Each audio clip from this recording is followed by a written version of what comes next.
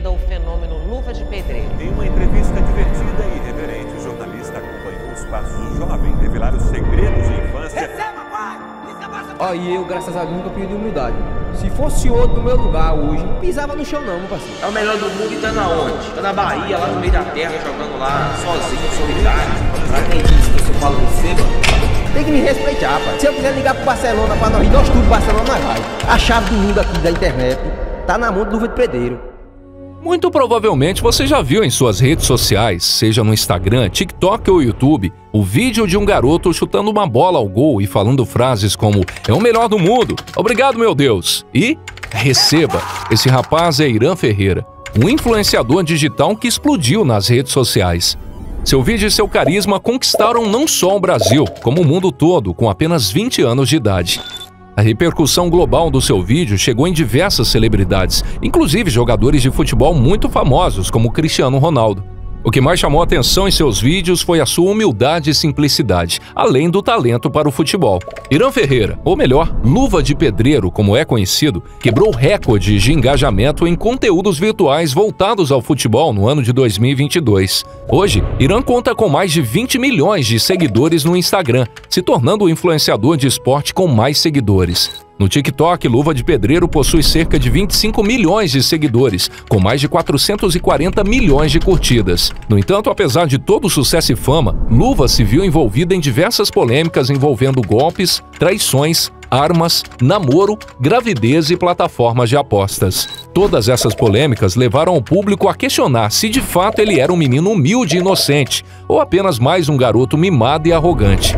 E é isso que vamos descobrir nesse vídeo de hoje. Quer aprender edição de vídeo e entrar no mercado em constante crescimento? Nosso curso com mais de 50 videoaulas é perfeito para iniciantes e editores que buscam se destacar. A falta de profissionais qualificados está abrindo portas e você pode ganhar até 5 mil reais trabalhando em casa. Não perca essa chance. Acesse o link na descrição ou no comentário fixado.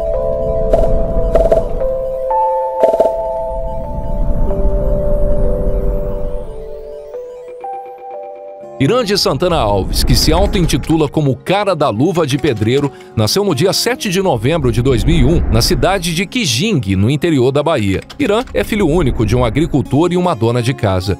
Sua mãe, Lenilza, o criou com muito amor. Apesar da origem humilde e das dificuldades que já passou, ela sempre fez de tudo para o seu filho. Na infância, Dona Lenilza fazia bolas de panos ou com cocos para que seu filho pudesse brincar e jogar futebol no quintal de sua casa. Inclusive, o celular que ele usava para gravar seus vídeos no começo foi dado de presente por sua mãe. Por ter nascido em uma família simples, Irã precisou começar a trabalhar mais cedo para poder ajudar no sustento da família. Quando estava no oitavo ano da escola, Irã precisou parar com os estudos e passou a trabalhar na roça, juntamente com seu pai, seu Arivaldo. Apesar do sonho de ser jogador de futebol e pela sua paixão pelo esporte, Irã sabia que precisava ajudar sua família e deixou por muito tempo esse sonho de lado. Porém, no ano de 2021, com 20 anos de idade, Irã pegou o celular dado por sua mãe e passou a gravar seus próprios vídeos e postar no TikTok. Depois começou a chamar seus amigos para gravar vídeos com mais frequência. Em pouquíssimo tempo, seus vídeos se tornaram extremamente virais. Inclusive, seu primeiro vídeo postado com as famosas luvas de pedreiro alcançou a marca de 30 milhões de visualizações em apenas 24 horas. Irã, nessa mesma época, além de gravar os vídeos amadores de futebol, também utilizava uma luva de pedreiro, com o intuito de imitar os jogadores europeus que usam luvas para se protegerem do frio. E foi por conta disso que seu apelido na internet se tornou Luva de Pedreiro. No começo, seus vídeos explodiram e Irã se tornou meme no Brasil. Logo, se tornou um sucesso nacional e internacionalmente. Seus bordões, como o famoso Receba, passaram a ser produzidos por diversas pessoas e celebridades mundiais de vários esportes. Ainda nessa época, antes de ter empresário ou fazer qualquer tipo de publicidade, Irã ainda conciliava sua rotina de trabalho no campo com seu pai com a produção de conteúdo para a internet. A cada dia que passava, seus vídeos chegavam em mais pessoas no mundo todo, chegando até em grandes clubes de futebol como Barcelona e Bayern de Munique. Todo esse sucesso repentino levou Irã a participar de diversos programas de TV, sendo reconhecido dentro e fora do Brasil, e inclusive conheceu diversos jogadores de futebol de todo o mundo. Irã passou a adotar o sobrenome Ferreira como seu nome artístico, deixando de ser Irã de Santana Alves para ser apenas Irã Ferreira, ou então Luva de Pedreiro, como é mais conhecido conhecido. Irã estava conquistando seu espaço no mundo da fama e da internet, mas havia um problema. Por conta dele e sua família terem uma origem humilde, eles não sabiam administrar o dinheiro que estava entrando, nem analisar as propostas e contratos de publicidade de diversas empresas que estavam a todo tempo tentando fechar uma parceria com Luva de Pedreiro. Logo, eles perceberam que seria preciso de alguém que pudesse cuidar da carreira de Luva, e foi nesse momento que as polêmicas e os problemas começaram.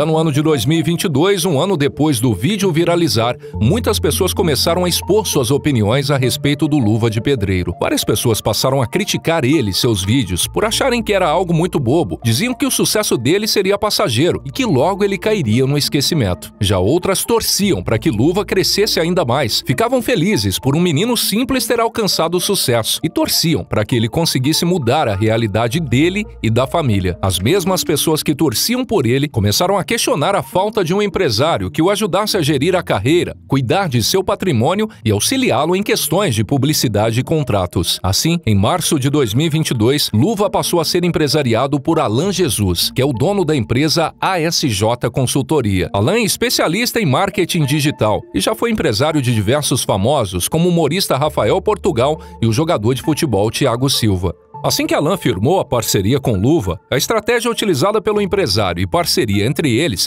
foram vistas com bons olhos pelo público, sendo bastante aceita e dando certo para ambos. Mas com o tempo, essa visão do público foi mudando completamente. Uma das estratégias utilizadas por Alan para que Luva tivesse um sucesso ainda maior foi fazer com que as pessoas apenas o conhecessem através de suas redes sociais. Durante um bom tempo, Luva recebeu diversas propostas para participar de vários podcasts e programas de TV, além do convite convite de outros influenciadores para gravarem juntos. No entanto, Alan não permitia, deixando Luva gravar vídeos somente no próprio perfil. Além disso, Alan fazia questão de se mostrar o tempo todo nas redes sociais do Luva, e isso começou a incomodar o público que assistia. Outra estratégia de Alan foi fazer com que Luva continuasse com a imagem de um garoto pobre que morava no interior, pois isso fazia com que as pessoas tivessem mais conexão e empatia com ele. Pouco tempo depois da parceria entre Alan e Luva, o empresário convida para morar no Rio de Janeiro pois ali ele teria mais oportunidades de trabalho. Chegando no Rio, Luva foi morar na casa de um outro influenciador, chamado Victor Melo. Inclusive, esse mesmo influenciador estava envolvido em uma das polêmicas juntamente com o empresário Alan Jesus. O nome de Victor Melo constava no quadro societário da empresa de Luva,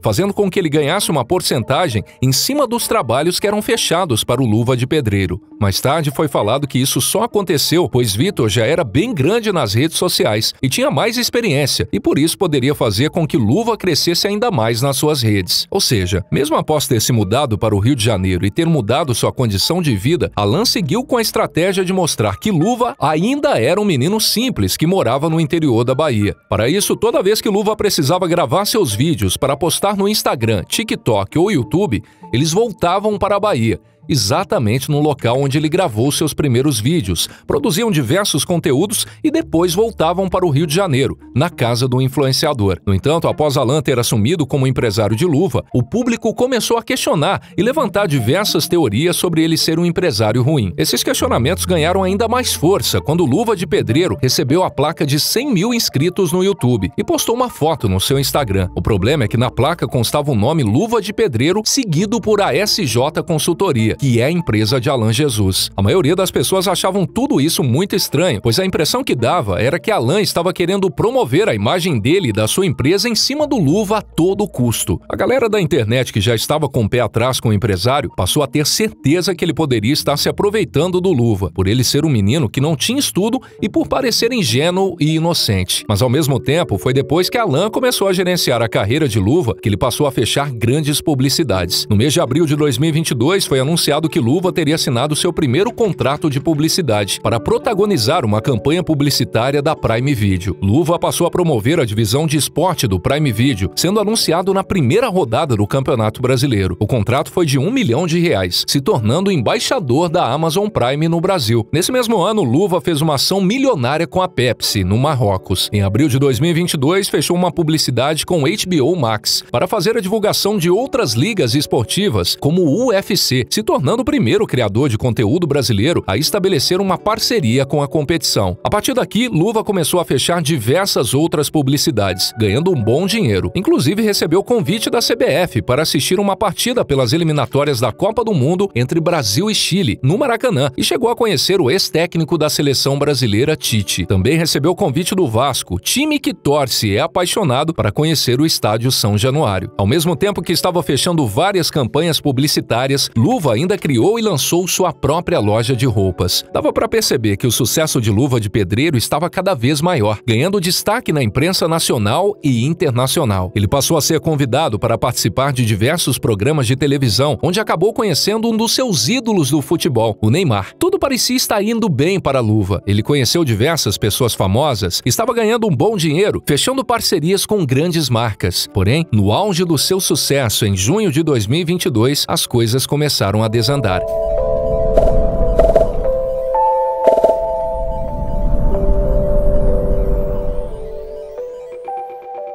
No mês de junho de 2022, Luva postou alguns stories e abriu uma live no seu perfil do Instagram dizendo que estava bastante cansado e estressado com tudo o que estava acontecendo e que não estava mais aguentando tanta cobrança. Nessa mesma live, Luva afirmou que iria parar de produzir conteúdos e vídeos em suas redes sociais e logo em seguida desativou suas redes. Após alguns dias, Luva voltou a aparecer nas redes sociais e a publicar vídeos, sem explicar o que tinha acontecido. Por conta disso, muitos fãs começaram a especular e criar diversas diversas teorias de que Luva estava insatisfeito com sua equipe de assessoria e que provavelmente ele não estava feliz com a parceria entre ele e seu empresário, Alan Jesus, e que por isso ele teria feito esse desabafo no Instagram. Além disso, Luva dava a entender em seu desabafo que não queria mais continuar com o empresário. Pouco tempo depois, a empresa de Alan, a SJ Consultoria, emitiu um comunicado em que dizia não saber a respeito de nenhuma rescisão contratual e que a notícia sobre isso teria vindo através da mídia. No comunicado, eles ainda afirmavam que o contrato com Luva seria até 2026 e que, caso ele quisesse quebrar o contrato, seria preciso pagar uma multa. Para piorar ainda mais a situação, diversas páginas de notícias publicaram que Luva tinha apenas R$ 7.500 em suas contas bancárias, mesmo após ter fechado diversas publicidades, pois só com a Prime Video, Luva tinha ganhado um milhão de reais. Foi então que a internet passou a atacar e ameaçar Alan de todas as formas, pois acreditavam que ele havia roubado todo o dinheiro de Luva, por conta das suas contas bancárias estarem com uma uma pequena quantia perto do que era para ter e por sua família continuar morando em uma casa simples mesmo depois de ganhar tanto dinheiro. Prontamente, Alan se defendeu de todas essas acusações e disse que Luva ainda iria receber 2 milhões de reais com as publicidades, mas que os pagamentos ainda não haviam sido feitos. Tudo isso que aconteceu fez com que as pessoas acreditassem que Alan era o vilão, uma vez que, segundo o tribunal da internet, ele era o culpado. As consequências disso foi que Alan e sua família foram duramente atacados, criticados e até ameaçados de morte por todos os juízes da internet que defendiam Luva. A repercussão foi gigante e logo o caso precisou ir para a justiça. A juíza do caso determinou que a mídia não publicasse nada a respeito até um caso ser concluído. As informações a respeito da polêmica entre Alain e Luva foram impedidas de serem transmitidas na Globo, no programa do Fantástico, e na Record no Domingo Espetacular. A liminar proibia as emissoras de divulgarem qualquer informação sigilosa do contrato entre os dois ou fazer qualquer manifestação que aumentaria o discurso de ódio contra Alain. Ao final do processo, ficou decidido que o contrato entre Luve e Alain fosse encerrado. No entanto, a partir da data do fim do contrato, Luve iria precisar repassar 30% de todos os seus ganhos mensais para Alain até atingir o valor de 5 milhões e 200 mil reais, que era o valor da multa por quebra de contrato. Isso gerou uma enorme comoção na internet, que acreditava que Alain havia explorado e roubado o dinheiro de Luva, traindo ele e sua família. Esse achismo levou as pessoas a atacarem e julgarem Alan por muitos meses. Porém, hoje Alan parece ter dado a volta por cima e seguido normal com a sua vida pessoal e profissional. Isso acabou gerando alguns questionamentos se de fato ele realmente havia roubado ou dado um golpe em luva, ou se tudo isso que aconteceu não havia passado de uma mentira inventada pelo influenciador. Não temos como saber quem está falando a verdade e quem está mentindo, mas o fato é que toda a história tem dois lados que precisam ser ouvidos, pois cada um tem sua verdade, não existindo um lado totalmente certo ou um lado totalmente errado.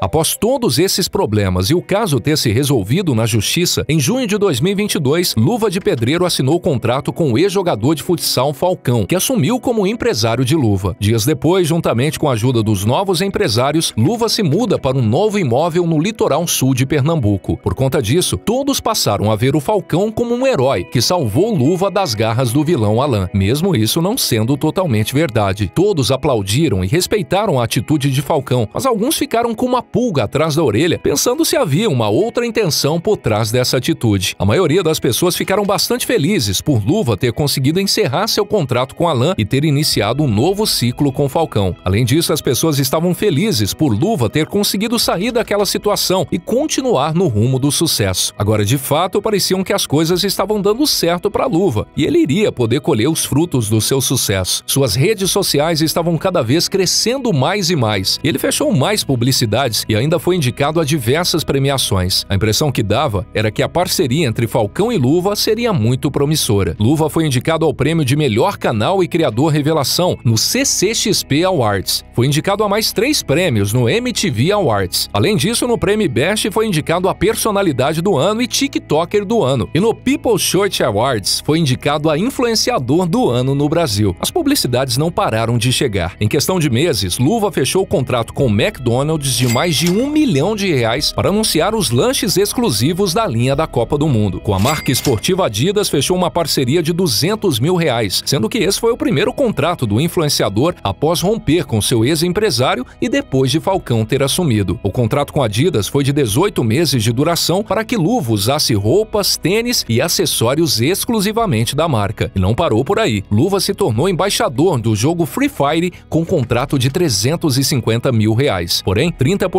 de todos os ganhos com parcerias e publicidades eram repassados para Alan todos os meses, seguindo a determinação da justiça para o pagamento da multa de quebra contratual. Porém, apesar de tudo parecer estar caminhando bem, Luva entrou em uma nova polêmica. Em setembro de 2022, Luva mais uma vez apareceu em suas redes sociais dizendo que ia parar de vez com sua carreira. Fala minha tropa, Galera, todo mundo tá pensando que eu fui hackeado aí, eu não fui hackeado não, porque eu apaguei os vídeos mesmo, eu parei mesmo. Galera. E pararia de produzir conteúdo para a internet após o cumprimento dos seus contratos de publicidade, pois queria ter uma vida normal, como uma pessoa anônima. Para completar, ele apagou todos os vídeos de suas redes sociais. A assessoria de Luva deixou um comentário apoiando ele nessa decisão e mais tarde soltou uma nota na imprensa dizendo que o excesso de trabalho e um problema de saúde foram os fatores que levaram o influenciador a tomar essa decisão. Mas assim como da outra vez, pouco tempo depois, Luva voltou ativamente para suas redes sociais sem explicar o que tinha acontecido. Logo, diversas pessoas começaram a desconfiar que ele estava fazendo aquilo apenas para chamar atenção ou como estratégia de marketing, a fim de melhorar o engajamento de suas redes. Já outras ficaram felizes com a sua volta e o incentivaram a continuar produzindo conteúdo. Em pouco tempo, as mesmas pessoas que aplaudiram Falcão por ter aceitado gerir a carreira de Luva começaram a criticá-lo por acharem que ele não era um bom empresário e que ele estaria prejudicando a carreira de Luva, criticando principalmente os contratos e publicidades fechados. Essa onda de crítica se deu juntamente com uma nova polêmica: as casas de apostas.